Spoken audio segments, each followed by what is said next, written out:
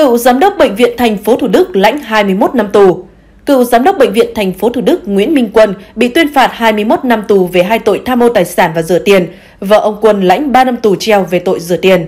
Sau 2 ngày xét xử, sáng ngày 1 tháng 12, Tòa án Nhân dân thành phố Hồ Chí Minh tuyên án đối với cựu giám đốc bệnh viện thành phố Thủ Đức Nguyễn Minh Quân và 8 đồng phạm. Theo hội đồng xét xử, căn cứ tài liệu chứng cứ có trong hồ sơ vụ án đã được tranh tụng công khai tại phiên tòa. Lời khai nhận tội của các bị cáo, hội đồng xét xử có cơ sở xác định lợi dụng chức vụ giám đốc bệnh viện thành phố Thủ Đức, ông Nguyễn Minh Quân đã chỉ đạo ông Nguyễn Văn Lợi, giám đốc công ty trách nhiệm hữu hạn thương mại dịch vụ sản xuất Nguyễn Tâm, thành lập 4 công ty sân sau để tham gia các gói thầu mua sắm trang thiết bị y tế, phục vụ công tác khám chữa bệnh. Khi tham gia đấu thầu, ông Quân chỉ đạo ông Lợi giao cho nhân viên lập các hợp đồng mua bán khống, lòng vòng giữa các công ty trong nhóm để nâng giá thiết bị máy móc cao hơn giá thị trường.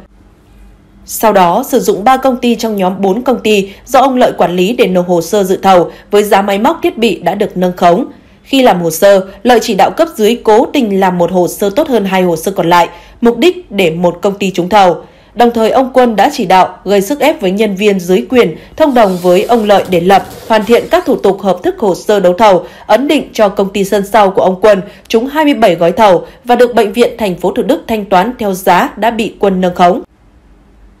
Mặc dù biết rõ các công ty sân sau là của ông Quân do ông Lợi điều hành, tham gia đấu thầu, nhưng các bị cáo là thành viên của tổ mở thầu. Tổ chuyên gia xét thầu gồm Nguyễn Thị Ngọc, Nguyễn Lan Anh, Ngô Trương Ngọc Bích, Nguyễn Huy Việt, Đặng Thị Hiền vẫn tạo điều kiện cho các công ty này trúng thầu, chiếm đoạt tiền của nhà nước.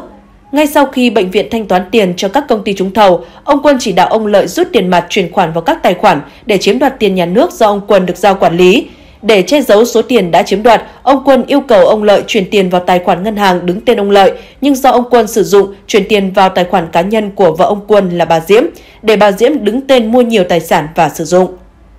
Theo hội đồng xét xử, cáo trạng xác định ông Quân chiếm đoạt 103 tỷ đồng là toàn bộ số tiền thắng 27 gói thầu mà ông Lợi chuyển cho ông Quân. Tuy nhiên, hội đồng xét xử cho rằng tổng số tiền lợi nhuận của 4 công ty được xác định là 102,5 tỷ đồng. Do đó, hội đồng xét xử xác định lại số tiền mà ông Quân chiếm đoạt là 102,5 tỷ đồng.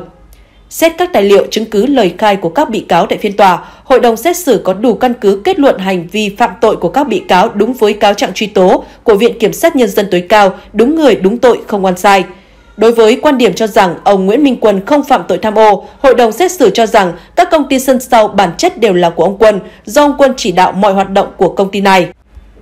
Các doanh nghiệp này được bị cáo thành lập với mục đích tham gia các gói thầu của bệnh viện thành phố Thủ Đức và các công ty này đã trúng 27 trên 28 gói thầu. Việc tham gia đấu thầu chỉ là một phương thức thủ đoạn rút tiền ra khỏi bệnh viện thành phố Thủ Đức. Ông Quân là người có chức vụ quyền hạn, là giám đốc được giao quản lý tài sản. Bị cáo là chủ tài khoản duy nhất của bệnh viện thành phố Thủ Đức, là người có quyền ký các ủy nhiệm chi khi thanh toán tiền ra khỏi bệnh viện thành phố Thủ Đức. Tất cả chứng từ, tài liệu trong hồ sơ đều thể hiện dòng tiền cuối cùng đều do vợ chồng bị cáo sử dụng cá nhân mua tài sản. Do đó, hành vi của ông Nguyễn Minh Quân đủ cấu thành tội tham mô tài sản. Về trách nhiệm dân sự, ông Quân có trách nhiệm bồi thường cho bệnh viện thành phố Thủ Đức 102,5 tỷ đồng. Đối với hai căn biệt thự ở thành phố Nha Trang, tỉnh Khánh Hòa và khu trung tâm phức hợp Sài Gòn Ba Son, thành phố Hồ Chí Minh, mặc dù đứng tên công ty Ngọc Đạo nhưng bản chất là của ông Quân. Các tài sản được đặt cọc 35% từ tiền tham ô, sau đó vay ngân hàng, do đó tiếp tục cây biên để đảm bảo thi hành án 35%.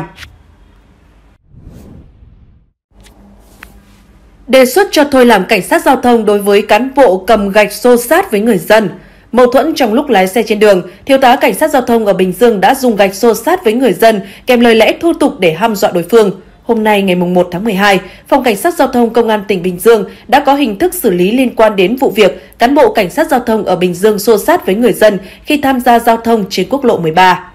Theo đó, Phòng Cảnh sát Giao thông đã kỷ luật bằng hình thức khiển trách đối với Thiếu tá NVTT, cán bộ đội Cảnh sát Giao thông thuộc Phòng Cảnh sát Giao thông Công an tỉnh Bình Dương do có hành vi thiếu chuẩn mực trong khi tham gia giao thông. Bên cạnh đó, Phòng Cảnh sát Hình sự cũng đề xuất Ban Giám đốc Công an tỉnh điều chuyển công tác đối với Thiếu tá T, không tiếp tục làm cảnh sát giao thông. Trước đó trên mạng xã hội chia sẻ một đoạn clip ghi lại cảnh hai người đàn ông xảy ra xô xát với nhau do mâu thuẫn khi tham gia giao thông. Trong đoạn clip xuất hiện người đàn ông mặc áo thun vàng, quần sóc trắng cầm viên gạch trên tay tiến tới đối phương kèm theo nhiều lời lẽ văng tục hăm dọa. Trong khi đó đối phương cũng thách thức người này đánh mình. Đoạn clip sau khi được chia sẻ lên mạng xã hội đã gây sự chú ý. Nhiều người cho rằng người đàn ông cầm gạch trong clip này là cán bộ cảnh sát giao thông thuộc phòng cảnh sát giao thông công an tỉnh Bình Dương.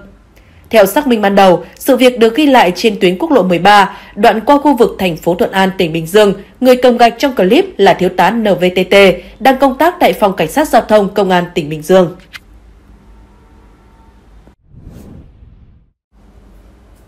Đáy vực của tha hóa phẩm chất có hai vụ án, hai lĩnh vực, nhiều tội danh nhưng chung một điểm đến. Chuyện thứ nhất, ngày 30 tháng 11, Công an tỉnh Đồng Nai khởi tố bắt tạm giam Nguyễn Khánh Hưng, Chủ tịch Hội đồng Quản trị, người đại diện theo pháp luật của công ty cổ phần đầu tư LDG về tội lừa dối khách hàng.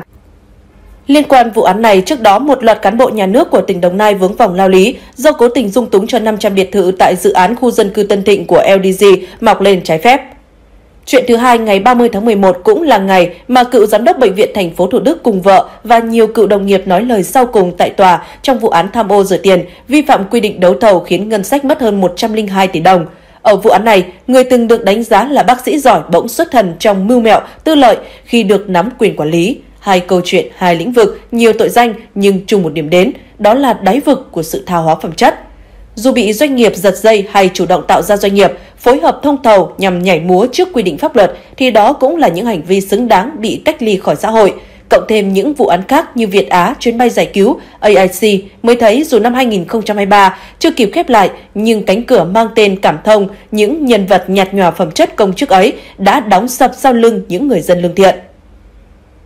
Còn nhớ gần một nửa thiên niên kỷ trước, trong tác phẩm Ghét chuột, cụ Nguyễn Bình Khiêm thừa nhận thực tế đau lòng rằng lòng tham sự đục khoét của những con chuột làm trong nhà nước khiến lợi ích quốc gia bị phản bội.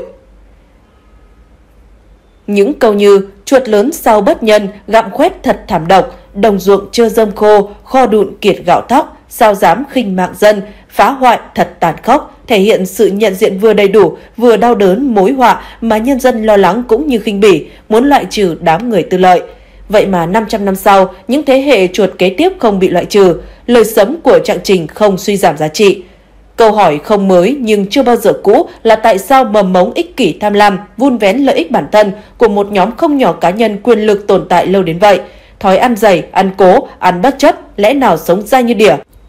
Sự liêm sỉ phải chăng đã trở nên quý hiếm, với quyết tâm cùng khí thế phòng chống tham nhũng hiện nay, có thể khẳng định con đường tới đáp án đang gần khi mọi ngóc ngách, chiêu trò thủ đoạn của tội phạm tham nhũng mặc nhầm áo cán bộ liên tục bị soi dọi, lồi ra ánh sáng. Tuy nhiên, để câu trả lời cùng biện pháp diệt chuột bền vững tới sớm, nên chăng bên cạnh chính sách khoan hồng cho người đầu thú, hãy biến việc mua tin phòng chống tiêu cực trở thành hoạt động đơn giản, thường xuyên, hậu hĩnh và hiệu quả tối đa để từ đó 2024 sẽ là một năm gạn đục, khơi trong, sang và lọc cán bộ một cách quyết liệt, dứt khoát nhất.